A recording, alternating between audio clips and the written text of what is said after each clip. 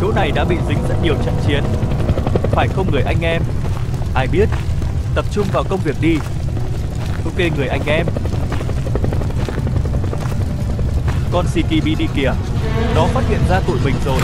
Bắn nó đi người anh em, không cần nhắc. Cho tụi bay ăn bum nè. Làm tốt lắm anh bạn. Ai vậy?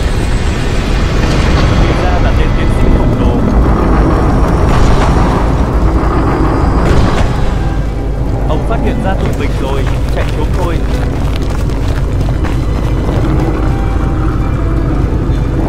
Tôi nghĩ chỗ này sẽ an toàn.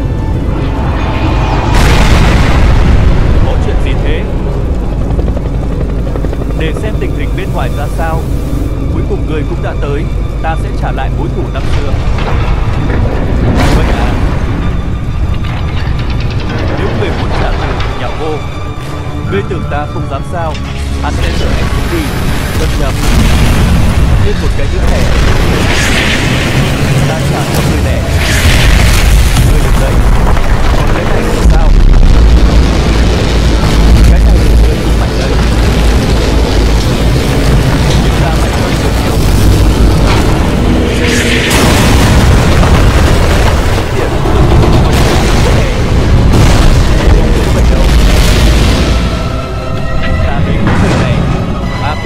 lại cho người đó. Chút nữa thì toan. Người hơn chậm. Để coi ai chậm hơn ai. Nó bay làm sao? Ủa, chuyện gì vậy? Ông phải bước qua xác tôi trước đã. Chết tiệt. Cảm ơn bạn đã cứu tôi. Không có gì đâu. Ai đó. Là tôi đây. Ông đang bắt đầu khỏe hơn đấy ông già.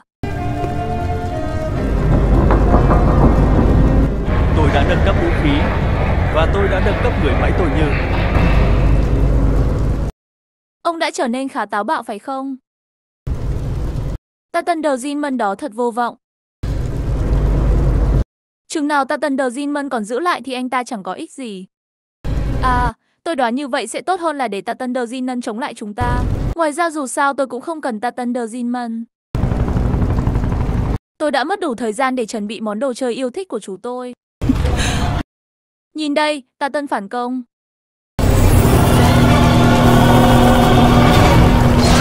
Cánh quán từ đây.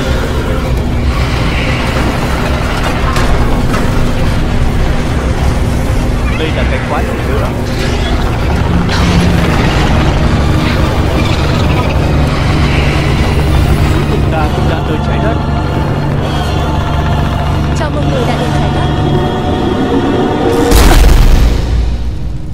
Là ai làm việc này?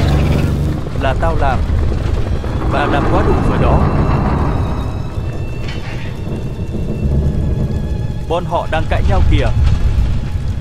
Ông nghĩ ông đang làm cái quái gì vậy? Bà làm gì thì làm đi. Tôi không tin bà nữa đâu. Sao cũng được. Dù sao thì chúng tôi cũng đã lên kế hoạch loại bỏ tất cả các loài.